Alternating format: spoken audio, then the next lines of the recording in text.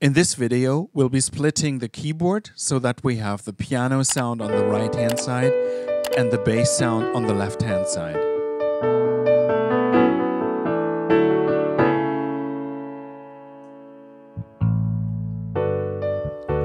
For changing the split point, you can press and hold the split button on the panel of the instrument and use the arrow keys.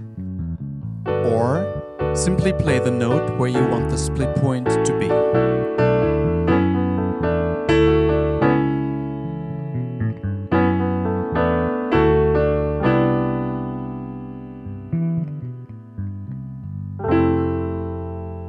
And here we have this beautiful combination of the USA Platinum acoustic piano sound and an electric bass. You're welcome to leave your comments and suggestions or let us know what subject you want us to cover in one of our next videos.